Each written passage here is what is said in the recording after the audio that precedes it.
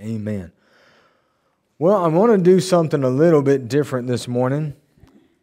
We are going to cover a topic that I have kind of heard taught, preached, and but it is something I think is necessary for us to see how the enemy has deceived the church, not our church, praise God, but can be that force that seduces and lulls people to sleep and has really weakened the churches of the modern times.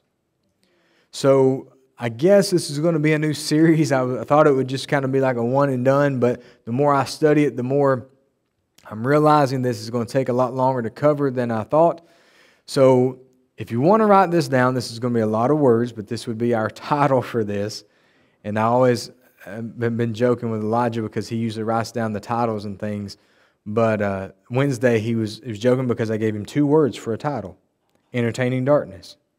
And so he was like, man, that's awesome. It's only two words. Because usually you have like this big long title, part so and so, then this big other long title. So we're back to the long titles. So this is, we're going to call this the perversion of the modern American church. So I'll say that again. The perversion of the modern American church. Now, this will, of course, be part one. We'll see how many parts we get out of this. Well, I don't want to spend a lot of time on this, but I think it's important for us to see that just because people declare they go to church does not mean they're on the same spiritual level that we are.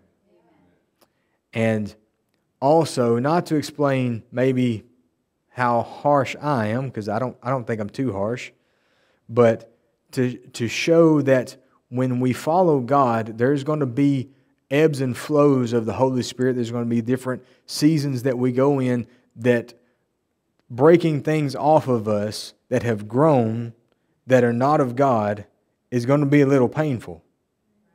But when we do break those things off and we do uh, allow God to prune us and to shape us and mold us, it may not be painful for that season, but it allows growth that we can get stronger, that we can get better. It's like, you know, the old saying when, you know, when it, somebody breaks a bone, when it heals back, it's like you won't break that bone in that same spot again because it's stronger, it's tougher. Kind of same, the same mindset goes for spiritual things. When you have something broken off, something that's, that's pruned out of your life that's not of God, then you're going to become a stronger Christian because you're going to say, I'm not falling for that attack enemy. I've seen where that is wrong in my life. I've gotten that out. Now you're not going to get me in that same situation. Will I be perfect in that area? No, but I know, I see your devices, I see your schemes in that area of my life. So we're going to look at 1 Timothy chapter 4. This is going to be kind of a springboard for this series. It's kind of where we probably jump off with every time that we discuss this. So 1 Timothy chapter 4. We'll start at verse 1. Now the Spirit speaketh expressly that in the latter times some shall depart, or we would say, set sail, come out of, or withdraw from the faith, giving heed to seducing or deceiving spirits and doctrines of devils, speaking lies and hypocrisy, having their conscience seared with a hot iron. Now, some of you are thinking, this sounds familiar. Yes, we just read this Wednesday night talking about entertaining darkness, and we're not to entertain darkness. But notice in verse 1 again, and the Spirit speaketh expressly that in the latter times some shall depart from the faith, meaning they were at one time Christians. They've given their heart and life to God, but then they depart, they leave it, they withdraw, they walk away from it, giving heed to seducing spirits or deceiving spirits and doctrines of devils. Now, seducing, now I've heard Dr. Barclay kind of define that as well, but seducing is it's kind of enticing you. It's not calling out to you, it's wanting you to follow it. Now, deceiving, we could say we could probably classify those as two different terms because seducing is kind of is kind of pulling you out, wanting you to it, wanting you to, but you also kind of you also know that this is probably wrong, but it's seducing me. It's calling me. I want it even though I know it's wrong. Deception, deceiving is a different term. Deceiving is you fall for it, but you don't know better. So, say, well, how does that fit into this? Because the modern church, you, all, you kind of have two areas of Christians for the modern church. You have one that is baby Christians who say, I want more of God. So what do they do? They find them a local church. They go to that church and they say, "This is really neat. They got really cool music. They got purple lights like a concert. They got this fog machine. They got coffee there. We can take it in the sanctuary. We can have donuts while we're watching the sermon. We can do all these things." They don't know any better. They're new to the body of Christ. They they're just hearing God for the first time. So that's a deceiving spirit because they don't know any better. But that seducing spirit is the ones that do know better, but are in that church saying, How can I make this church bigger? How can we, how can we make this bigger? How can we get more people? Do you know that there was a church growth seminar where all they talked about was butts in the seats? I'm going to say that again because some of you look like you don't believe me. There was actually a church growth seminar where the topic was butts in the seats. Not about how God can move, but about butts in the seats. Now, you say, well, that sounds wrong. Yes, it is wrong. That is not what the house of God is to be. But when you start getting people in the mindset of, well, I need to grow the church, I need to grow the church, I need to grow the church, I need to grow the church, people start getting wrapped up in how to do that. I'll tell you right now, I could grow this church very quickly. You know how? Water down the Word of God, lose this nice outfit, wear skinny jeans, a long nighty looking t shirt, and say anybody that wants to come in can come in. We don't care what you look like, we don't care what you do. Come here, we won't convict you, we won't have anything that, that, that, that confronts you. You just come in how you are and you leave just happier, is all it is. We could grow this church real quick. But you know, you know what's going to happen?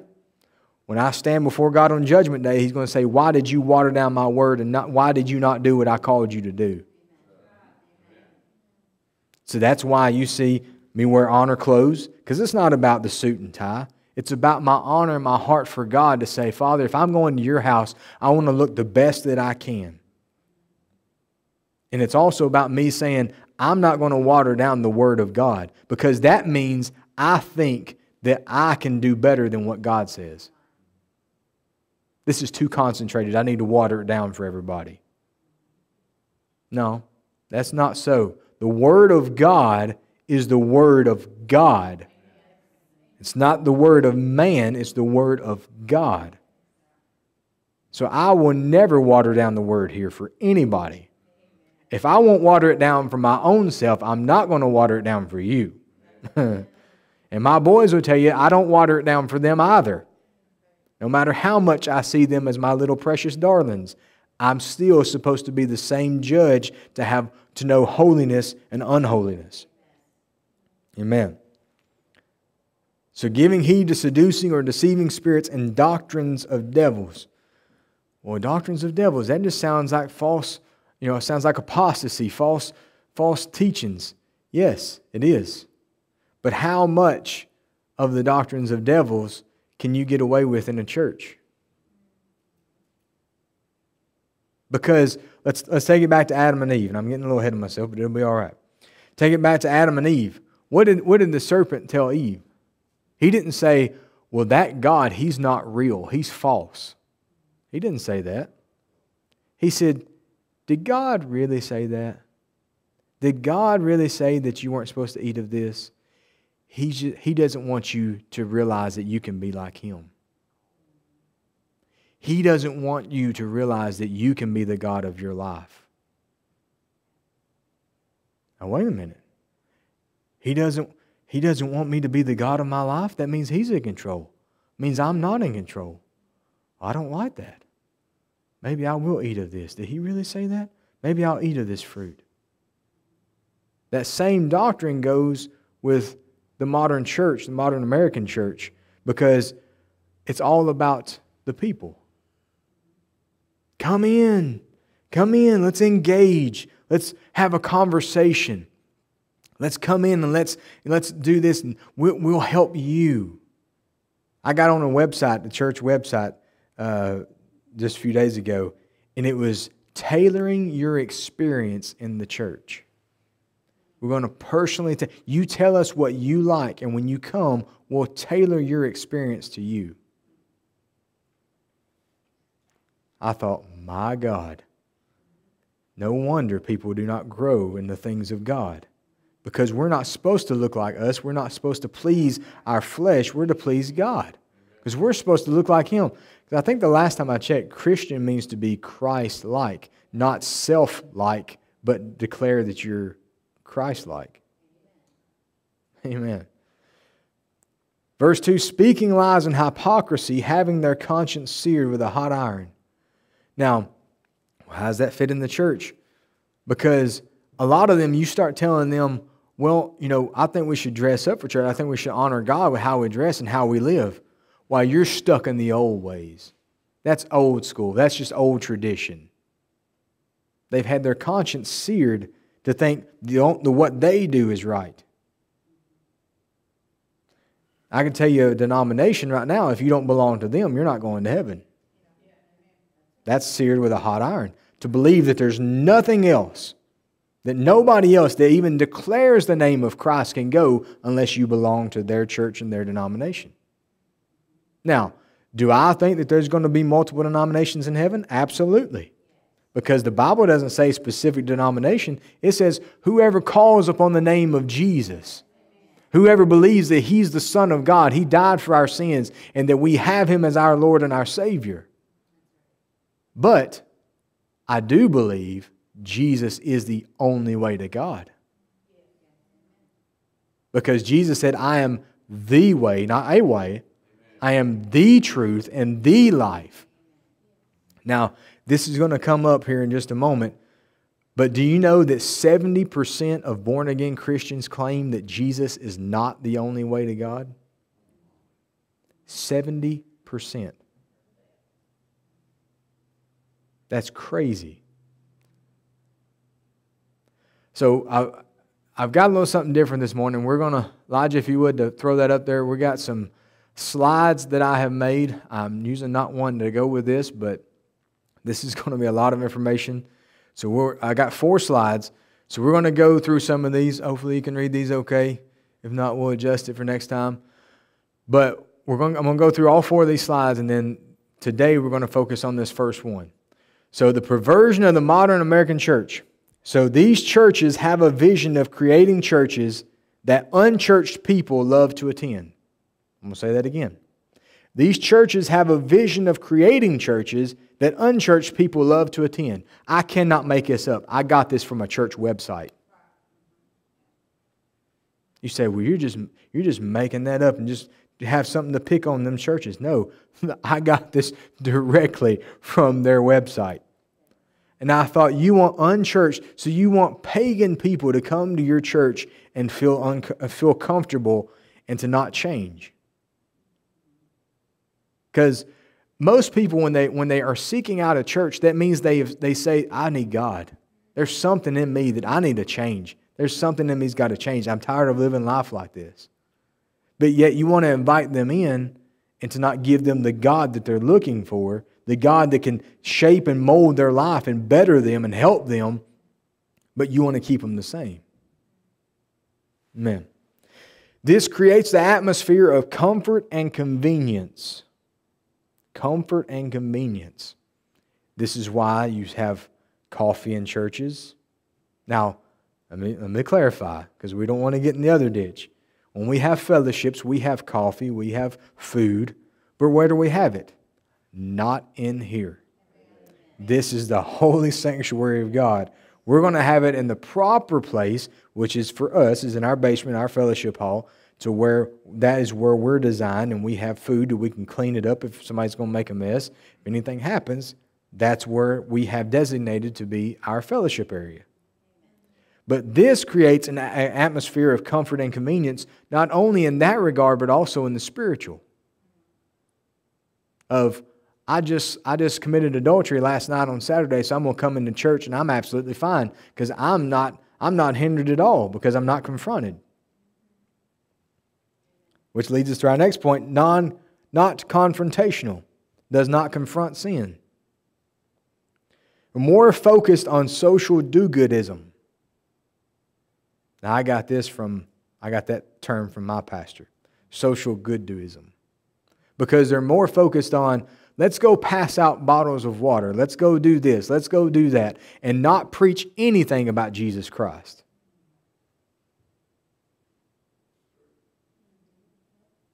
This also leads to why you see so many churches right now all about social justice. Does God hate racism? Absolutely, it's a demon.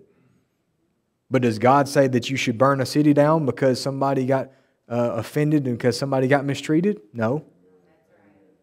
No, that's not the way that God operates. God says, pray for your enemies, pray for those who persecute you. That's a lot different than burning their house down, burning their business down. but more focused on social do goodism is because they're a social club. They're not really a church.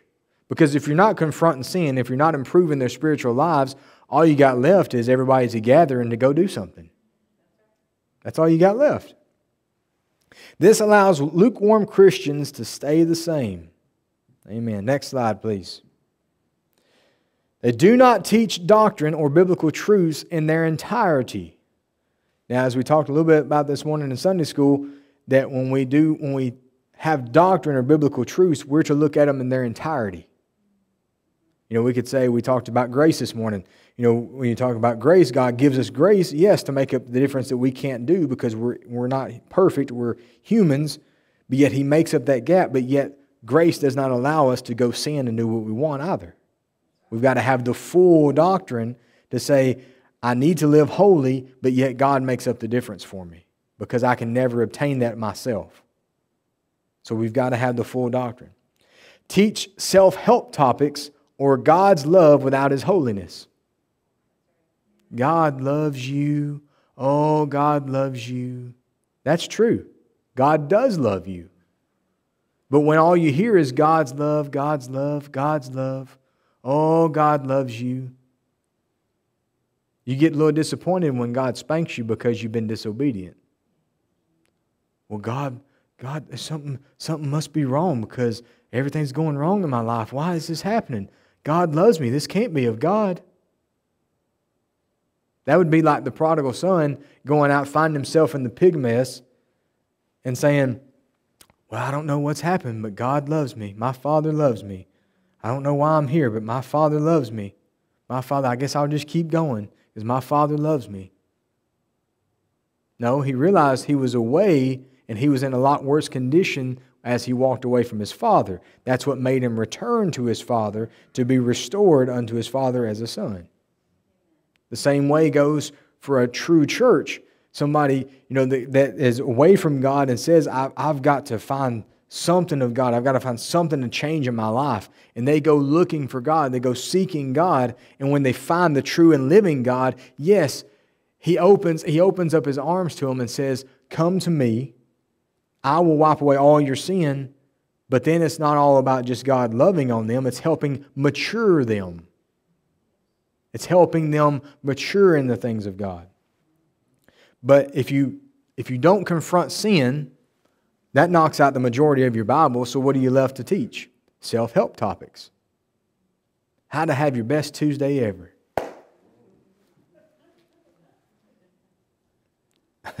smile, smile, blink, blink. No emphasis on the Word of God. Here's our point again.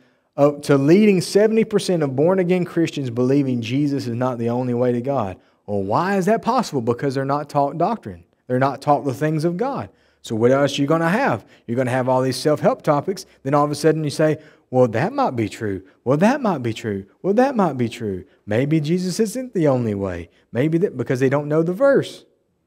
They haven't been taught doctrine. They haven't been taught the things of God. So all you get is a bunch of spiritual idiots. I mean, when, when a kindergartner goes into school, the teacher doesn't look at them and expect them to do trigonometry.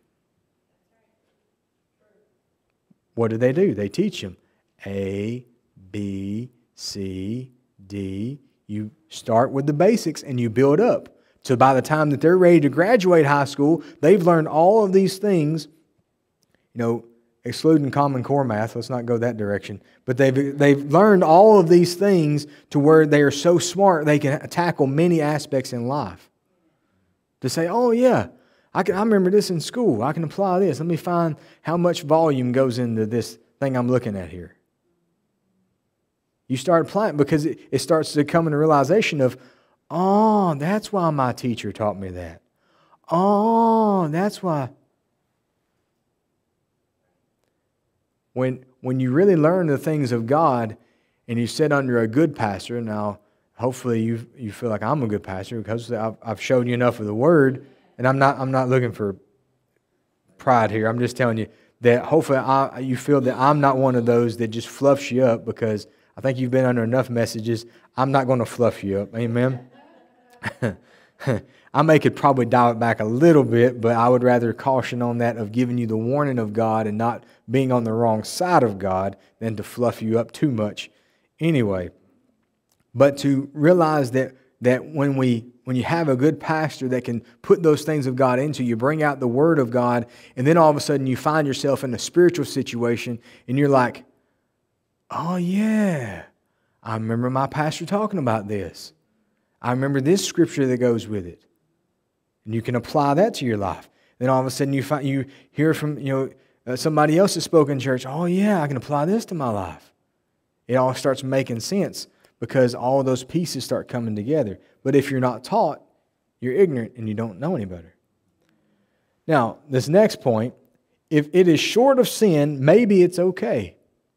I got that from a church website, believe it or not if it is short of sin, maybe it's okay. Uh, there's no gray area for sin. It's either sin or it's not. There's no maybe. Let me see how long I can get away with this before God really tells me. No, it's either sin or it's not. That's like there's either male or female. There's no in between. There's no other thing. It's either male or female. You got a 50 50 shot of being one of them and you got 100% of, you're going to be one of them. It doesn't matter which one it is. You're going to be one of those. So either it's going to be sin or it's not. So it's not going to be short of sin. It's either sin or it's not. And this last one I actually got from a church website.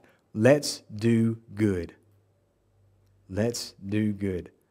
Let's, I mean, that just goes back to the social do goodism if I'm going to do anything, I'm going to do it for God, not for good, not for the greater good. Because the greater good is nothing but a heresy, honestly. Because did God say, I'm going to stay with the 99 for the greater good to leave that one? Because that's not, that's not what I need to do. I need to stay with the 99 because this is the greater good. No, God said, I'm going after the one because if there's anyone that is going to be lost, I want to bring them, I want to give every opportunity I can to reach that sheep, to bring it back to the fold with everybody else. But let's just gather and let's do good. Amen. All right, next slide, please. They're more focused on community than God. Do you know community is a communist word? A lot of people say, well, I love our community. That's a communist word. That's actually started in communism. Talking about a commune, an area that has all things in common. We say, that sounds like the first church. They weren't a community, they were a group of believers. But when you're more focused on the community than God, then all you focus on is doing good. You're not focused on God. So, do I believe that you should, you know, go out and throw your trash everywhere in the area, in this surrounding area? No, not at all. That's bad. That's bad. So let's not do that. But when you're more focused on God, you know what's going to happen? You're going to care about everybody around you. You're going to focus, you're going you're going to focus on God, but yet you're still going to love your neighbor as yourself. Oh, that sounds familiar. Huh. But let's leave the Bible out of it because we don't want to convict everybody because they don't love their neighbor. So let's focus on just helping our community. They use terms like authentic, community, conversation. They say, Well, I have a conversation all the time with my spouse. No, the conversation here that you'll see in modern churches is let's converse, let's have a conversation. I'll tell you what I think, you tell me what you think, and I'm going to slowly pick you up and move you over to the way that I think and what I feel, so that way I can move you into my doctrine. That's like right now, I was ordained with a young man who, who at the time, we were so on fire for God that we both talked about you know not drinking, not doing drugs, none of this stuff like that. I saw a video of that young man probably a month or two ago that where he was actually condoning drinking. Him and my former pastor condoning drinking. Somewhere along the line, they had a conversation and they were picked up and moved little by little, little by little, until you're so far out in the sea that you've got your little rowboat and you're so far off the shore that there's almost no hope for you. It's going to take a mighty wind of God to really push you back in the direction you need to go. That's the kind of conversation this is talking about. Compassionate. Compassionate. Compassion is not a bad thing. But when you're compassionate about something in these modern churches, it's usually not about God, and it's usually not the same compassion that God has. It's a compassionate of, well, this is the way we really feel. We're really compassionate about reaching our community. We're really compassionate. Core values. Why do they use core values? Because they don't believe in doctrine. Because core values can change. Doctrine can technically change, but it's usually in the reference of improving doctrine. Core values is just what we believe is the core of what we hold valuable. Casual. Now, there's an understatement for the modern church. Casual. Engage. We could all probably think of a church right now, probably two churches that uses that word a lot. Engage. Engage. You should engage your Christianity and, and fall on your face before God and serve Him. Faith journey, because it's not a walk with God, it's a faith journey. Because you're taking God out of the equation and just putting faith.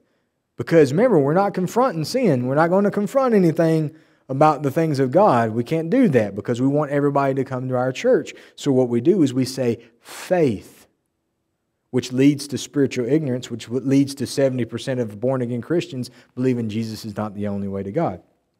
You see, you see the snowball effect. How you take one little thing and it can start rolling and it starts adding up. Relevance.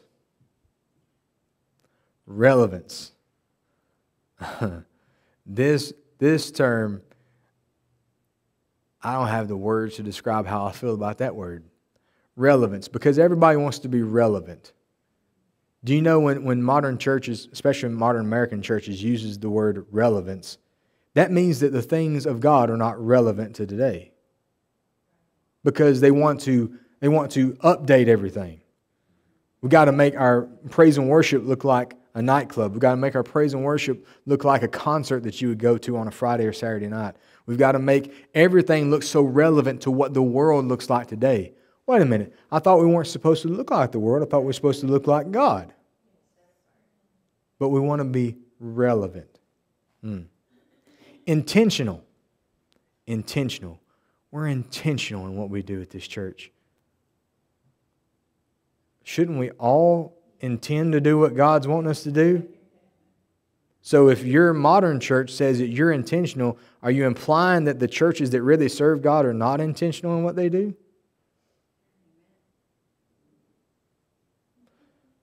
Cultural relevance. Cultural relevance. That means that they, they are relevant to the culture they're in.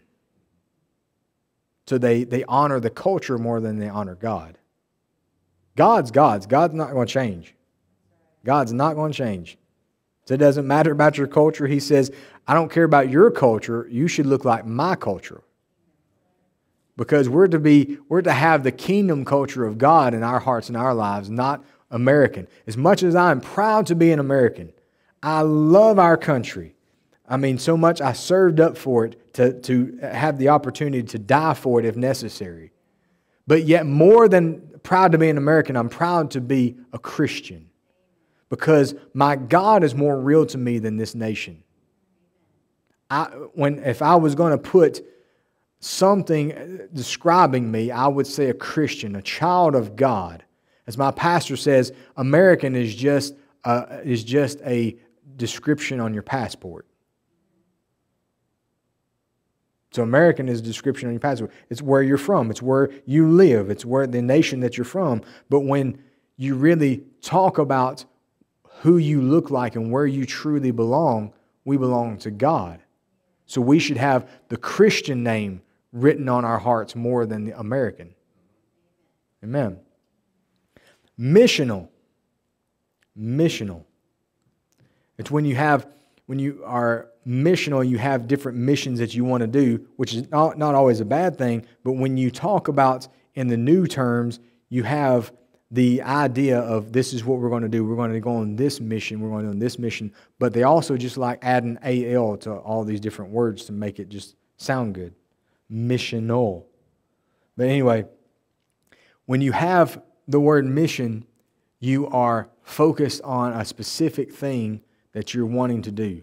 Now, a lot of the missions that they that the modern church, the modern American church likes to do is to focus on the on the community, as we've already said. So their mission is not what God has for us, it's what we should do for our community, what we should do in this region, what we should do in this area to make our church look good, to make our name look good, that looks good on Facebook and social media.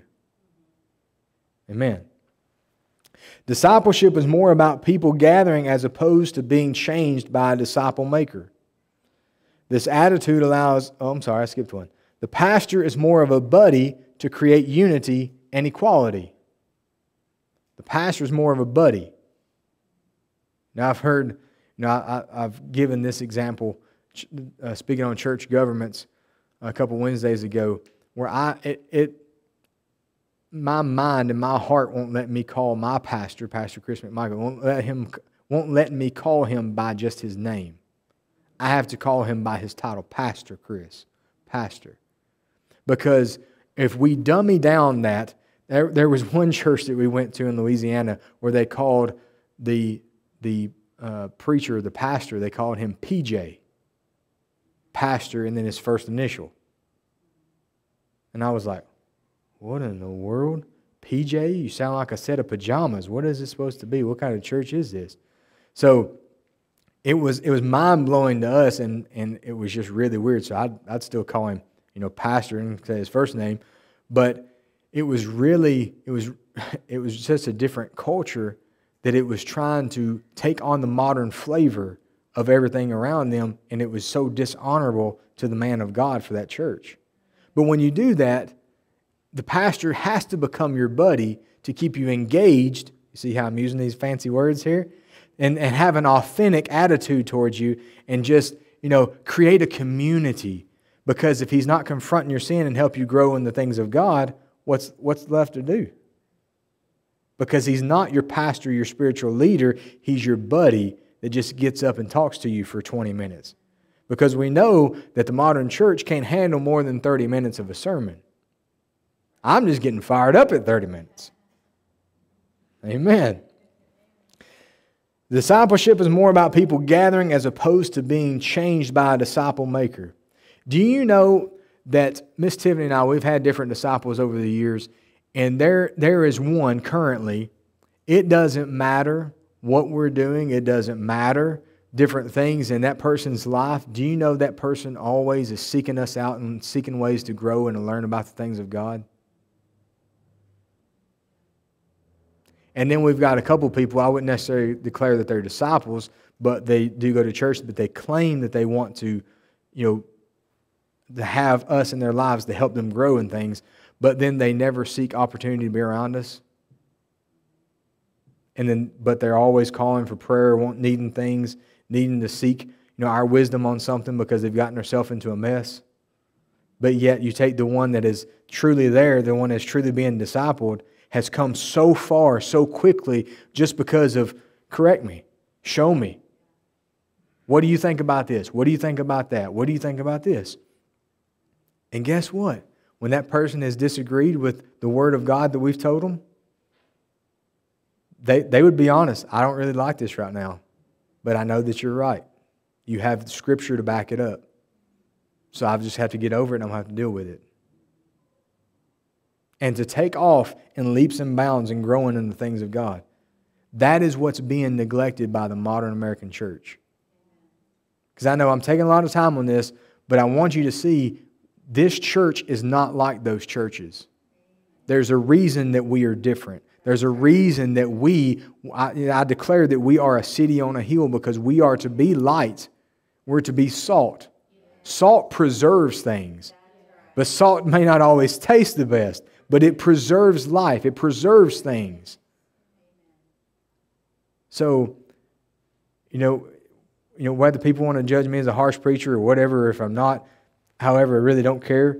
But for me to give people the word, I know if I don't if I don't follow God, if I don't give them the word, when will they ever learn and grow into the things of God? Because I'm going to have to give an answer for that one day, but also those in attendance will have to give an answer for what I gave them and whether they did or did not do what God told them. Amen. So, this attitude allows anyone to have a leadership role with no true commitment of faithfulness or biblical qualifications. Now, I will say, we, we had a, a couple people that wanted to help us, hearts of gold, love God, qualified in one regard, but because they were kind of in a situation to where they were trying to find a church, but they really couldn't land here for other reasons and different things, I had to tell that person, I can't use you. And you, and you don't know how much that hurt me to have to tell them that because they were like, I'll, I'll come help you on, on this day for service, but I can't really be there for this day because I got to do this and other things. And it, and it really hurt me, but I had to tell them, I can't do that. I can't use you. Do you know why? Because one of my very first meetings here, and by the word of God, I put out the statement, you should be here for every service to be a leader, to be used in this church. Now, does that mean that whether you're sick and you're, you know, you're puking up blood, you should be here? No, we understand that. Don't get super spiritual on me. But when you, but when you are missing service for just other reasons or you're unfaithful, we can't use that. We must have faithful people that show themselves not only are they working in the kingdom of God, but they're here to learn and to grow as well. So you must be faithful to the house of God. Next slide, please. Last one. More focus on a worship experience. They focus more on a worship experience. Hmm. This reflects modern concerts with purple lights and fog machines. Worship is good. Now, I'm not talking about their worship. I'm saying worship in general by the biblical standard is good, but it's designed to usher in the presence of God, not to entertain people. It's not, it's not, a, if you want to be entertained, go to the Grand Ole Opry. If you want to be entertained, go to Nashville and find you a concert. But when we come to the house of God, we're not to be here to be entertained. We're to have somebody leading us that's anointed to lead us in praise and worship, that we pull on that anointing and usher in the presence of God. That for the rest of the service, we know that God is present, God's present and with us, and that we're offering our worship in spirit and in truth unto God. But then when it comes time for the word, we receive of what he has for us.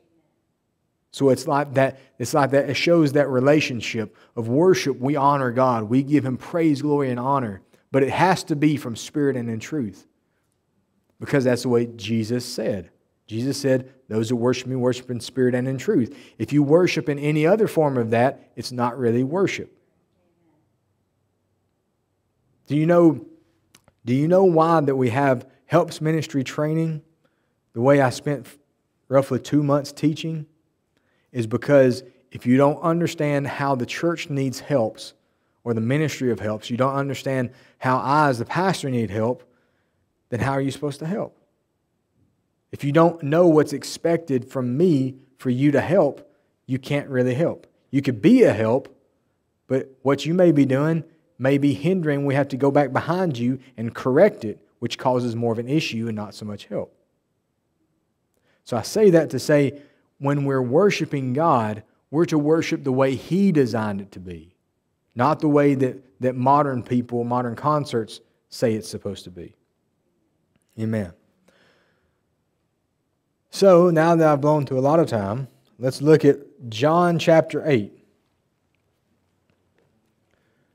We're going to go back to the first slide. So, Elijah, you can put the first slide up if you'd like to. John chapter 8. So, for the rest of our time this morning, we're trying not to keep us too long, but we're going to focus on some of these points. And next week, Lord permitting, we'll move on through the slides and we'll see how fast we can get through these. Because I'm not so much worried about us falling into these traps because I'm the pastor here and I, I see these signs, but I also want everyone here, one, to know that this is these are the things that I'm laying out before you that we will not fall into and why that I'm such a stickler for the word, why I will not compromise and be relevant to the things going on in our, our nation or our community culturally, but also to what to look for when somebody tells you, Oh, I go to this church, because your heart wants to say, Okay, we're on the same spiritual level. But then you start finding out more about their church and where they're really at. You're like, mm, that's, that sounds like what my pastor is talking about. I can't put a lot of stock into this Christian friendship because, you know, how much of the word do they really know?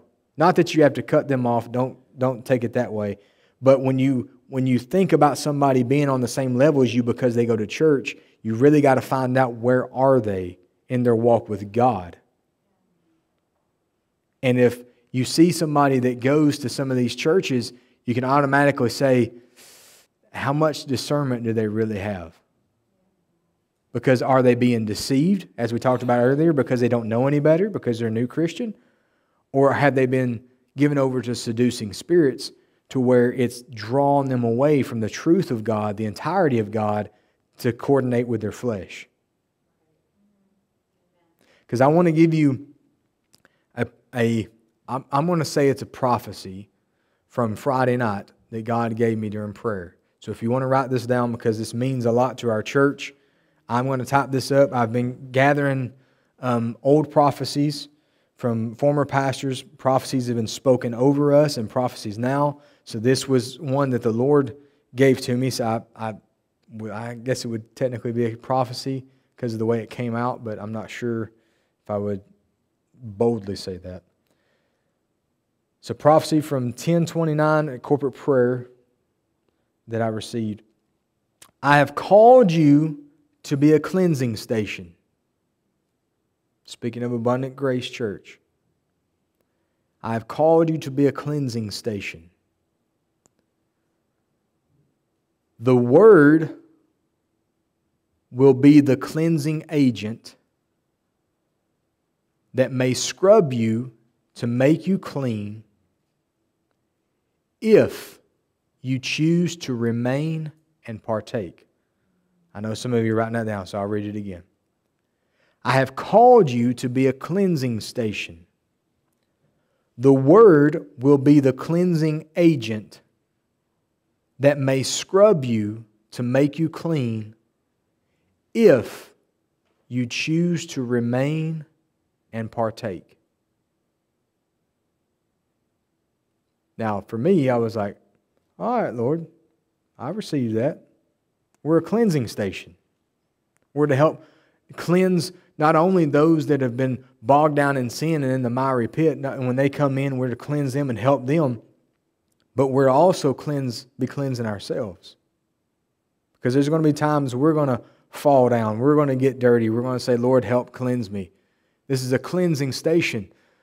But the Word of God is what cleanses. It's not just walking into these doors. It's not just, you know, having your name on our membership roll. It's not just coming in and, and just hearing what I've got to say, but it's the Word. It's the Word preached benefits no one, as my pastor said, but the word lived out benefits everyone. So you can come in, listen to all I've got to say, take good notes, be, be awesome. But until you live that word out, that is what will cleanse you. That is what will help you. But you've also got to choose to remain here and to partake. Amen. So that leads us to John 8. We're going to start at verse 1. Jesus went into the Mount of Olives, and early in the morning he came again to the temple, and all the people came unto him. And he sat down and taught them. And the scribes and the Pharisees brought unto him a woman taken in adultery. And when they had set her in the midst, they say unto him, Master, this woman was taken in, in adultery in the very act. Now Moses in the law commanded us that such should be stoned, but what sayest thou? This they said, tempting him, that they might have to accuse him. But Jesus stooped down and with his finger wrote in the ground as though he heard them not. So when they continued asking him, he lifted up himself and said unto them, He that is without sin among you, let him cast the first stone, or let him first cast a stone at her. And again he stooped down and wrote on the ground, and they which heard it, being convicted by their own conscience, went out one by one, beginning at the eldest, even unto the last. And Jesus was left alone, and the woman standing in the midst. When Jesus had lifted up himself and saw none but the woman, he said unto her, Woman, where are thine accusers? Hath no man condemned thee? She said, No man, no man, Lord. And Jesus said unto her, Neither do I condemn thee. Go and sin no more. That brings us to our first point. Actually, the first Three points. These churches have a vision of creating churches that unchurched people love to attend. Why? Because they're non confrontational. It doesn't convict of sin. Being around Jesus Christ will convict you. Being around the Holy Spirit will convict you. Why? Because God is not in you and there's something that is separating you from Him. Well, I'm a born again Christian. Well, then the Holy Spirit's going to say, This is not of God. This is in your life. You need to get it out. Because if we are the temple of God, that means we're supposed to house the presence of God within us, the Holy Spirit, which means that we should not allow things that are dirty and defile the temple of God in us. But we should be kept holy. I didn't say perfect, but we should be kept holy. So we are to live that out for God. We're to, to seek God on how to uh, be better and, and to cleanse up our lives. Because God, Jesus Christ made us righteousness through his sacrifice at the cross and through his resurrection, but it's up to us to live holy as we discussed in Perfecting Holiness and through that series. But when we're around Jesus, we, we, we should have that conviction within us to want better, to do better, we should have the Holy Spirit in us wanting better, wanting to do better. But then not only the desire to do so, but to actually do it. All right, let's flip over to John 16. Try to hurry through some of these. John chapter 16, verse 7.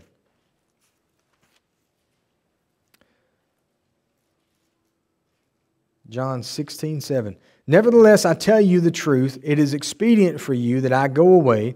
For if I go not away, the Comforter will not come unto you, but if I depart, I will send him unto you. And when he is come, he will reprove, which means convince, convict, expose, and rebuke the world of sin, and of righteousness, and of judgment, of sin because they believe not on me, of righteousness because I go to my Father and you see me no more. Now, of judgment because the prince of this world is judged. And you say, well, that sounds more like the, the world or the sinners. Yes, this is true. But as we go back to our first point on here, why would the unchurched people love to attend a church if they're not being convicted?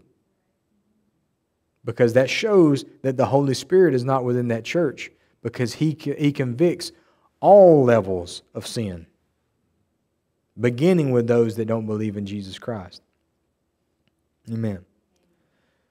Let's go to 2 Timothy. I'm going to try to hurry this. I know I'm rushing through. We've taken a lot of time on the first part of this. 2 Timothy chapter 4. we start at verse 1. I charge thee therefore before God and the Lord Jesus Christ, who shall judge the quick and the dead at his appearing in his kingdom. Preach the word. Preach means proclaim, tell with warning of consequences for not doing so, or to publish. Publish the word. Be instant in season, out of season. Reprove, which means to expose, to show fault, to convince, to convict, to refute. Rebuke, warn, charge, urge, exhort, plead, comfort, encourage, to call, invite, to ask, with all long suffering and doctrine. You can see how that one verse right there would be so damning to the modern American church. Because this is a charge from Paul to Timothy, the pastor. He's telling him, preach the word. Well, what are you going to do with the word? You're going to reprove, you're going to rebuke, you're going to exhort in all long suffering, but also with doctrine. Not your self help topics.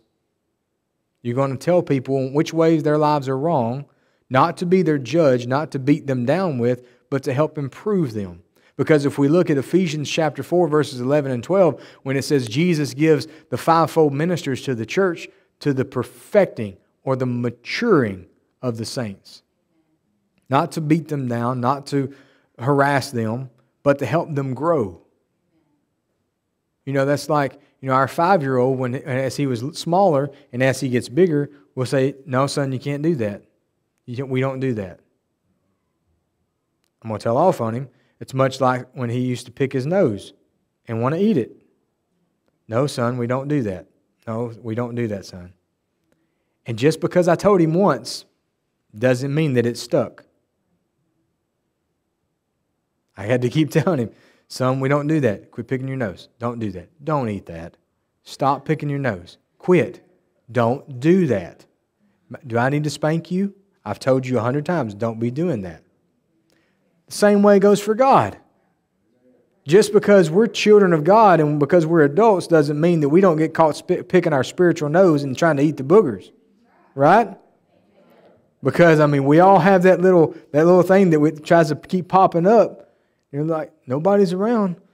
Nobody can see me pick my nose. It'll be all right. No, can't do that. But to reprove, rebuke, exhort with all long suffering, but with doctrine. So if the pastor is going to do that with doctrine, that means he's going to pull out the Word of God, not the self help topics. But verse 3 says, for, there, for the time will come, and it's here now because these are the last days, when they will not endure sound doctrine. Why? Because they want the coffee bar, they want the smoke, they want the purple lights, they want the things that, that are not are they're convenient and comfortable. But after their own lust shall they heap to themselves teachers having itching ears. There is a lot of pastors and preachers that can give you sermon after sermon after sermon, but you will grow nothing in God. Just because they are a pastor does not mean they're ordained of God. Just because they're a preacher does not mean they're ordained of God. But having itching ears, itching ears because it's what they want to hear, they shall turn away their ears from the truth and shall be turned into fables. Or we would say, fables is like the made up things the made up things. So let me let's look at one last verse. I got one last verse here. Revelation chapter 3. Hitting this verse actually completes my notes. So we made it through the slides and through my notes. Praise God. Amen. So Revelation chapter 3, we're going to start at verse 14. And unto the angel, or we would say the messenger, the pastor, the overseer of the church of Laodiceans, of the Laodiceans, write, These things saith the Amen, the faithful and the true witness, the beginning of the creation of God. I know thy works. So Jesus Christ knows the works of the church. Thou art neither hot, thou art neither cold nor hot, excuse me. I would thou wert cold or hot. So then, because thou art lukewarm, and neither cold nor hot, I will spew thee out of my mouth. How does that fit into this? Because if we look at our last one, it says this allows lukewarm Christians to stay the same. Because cold means you don't know God. You're cold. You're away from God because you're away from the source of heat. So that means you don't believe in God. You're away from Him. So Jesus said, I'd rather you be cold or on fire for me, burning because you're so close to me, you're so close that you can feel the flame. I would rather for you to be in those directions, but because you're right down the middle, because you say you go to church, but yet the church has no power, no authority, no doctrine, no growth for you to really partake in, you're lukewarm. Do you know that some of the hardest people to really reach is the ones that say, Well, I go to church but they are so pagan, it's not even funny. But in their mind, they think they're, because they've been so deceived, they've been so, so seduced by the spirit of, of, I go to church, but yet I can live any way I want to. Because they think when they walk in the doors, but yet when they walk into the doors, it's just an entertainment club. Because there's nothing of God in there. That makes them lukewarm. I know thy works, thou art neither cold nor hot. I would thou wert cold or, nor, or hot. So then, because thou art lukewarm and neither cold nor hot, I will spew thee out of my mouth. You make Jesus want to puke. Because thou sayest, I am rich. Get ready, get ready, get ready, get ready. Get ready, get ready, get ready, get ready. God's got a blessing for you. You're going to be rich. You're going to be rich and increase with goods. God's going to give you everything you have need, have need of and have need of nothing. I got ahead of myself. And knowest not that thou art wretched and miserable and poor and blind and naked. What in the world? Because when you fall for that kind of false motivation that hype you up, get you motivated, you're going to have your best Tuesday ever, and God's going to give you riches out the yin yang, that's not of God. Now, do I believe in prosperity? Absolutely. God will supply your needs. His word says that. But as we talked about in, in, in tithes and offerings this morning, He says, I will, I will pour out the, I will open up the windows of heaven and pour out that you can't even receive it all. That's truth. That's biblical truth. But the thought of because I give money to this church because I give money somewhere, God's going to automatically pour it out to me. That's a false bill of goods. That's why your TBN preachers are so rich and drive so many, you know, you know, Cadillacs, whatever, and have so many so many mansions, because they tell enough people to tell that to enough people, they get the money. They're able to do that to live lavishly, and not hold people accountable for the way they really live for God because it's all, it all sounds good on the surface. But when Jesus here is talking to the Laodicean church, he's saying it's not that they were truly rich. He says, but it's the attitude of saying, I am rich and I have need of nothing. That's what made them lukewarm. Of God, I'm, I'm in your church because they obviously go to church because the, the pastor's being wrote to here. But because they're there, they say, I really don't need anything. I'm just here because I'm marking this off my checklist. I'm here, God. Put me down for another Sunday. But I don't really need you, God, because I'm rich. I'm, I've got everything I have need of. I don't really need anything. That's that attitude. We'll say, well, how does that fit in the modern church? Because when you go into the modern church, a lot of it is all about building you up. God loves you. God loves you. God loves you. He does, which we've covered. But that doesn't mean you get to live the way that you want to. You should not be the God of your life. God should be the God of your life. And we should have the attitude of God, I'm nothing without you. I need you for everything in my life, Father. Help me. Show me which way my life is wrong, that I can improve, and I can, that I can walk for you better, that I can walk up straighter, that I can be closer to you and be on fire for you. I can be a red hot Christian in these last days. That the people around me know that I serve you and that you are alive and well. But we must not have that lukewarm attitude. But sadly, a lot of Christians that go to the modern American church That's the attitude they have. Why do you think a lot of them don't have Sunday night service? Why do you think a lot of them don't have prayer services? Why do you think a lot of them their service lasts one hour exactly? Because you got so many, you got you know 30 minutes for praise and worship, 30 minutes for the sermon, or technically 20, and then you got 10, announce, 10 minutes for announcements and throwing out free stuff. I watched the church recently, I think it was this past week, because I'd heard a lot of things about the church. I thought, I'm going to check it out, just see what it looks like.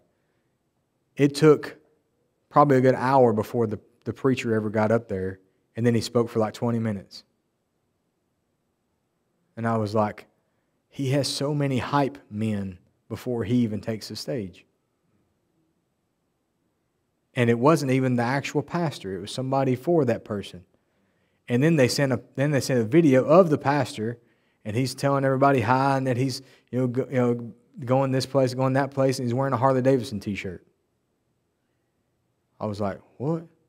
Now Harley Davidson is neither here nor there, but I'm thinking if you're presenting yourself as the pastor and you know that there's maybe visitors and things of that nature, why wouldn't you say, why wouldn't you at least dress a little more like you're the pastor of the church to present yourself and say, hey, you know, I'm sorry, you know, I couldn't be there today. We got this trip planned. You know, may God bless you. May, because our pastor does that.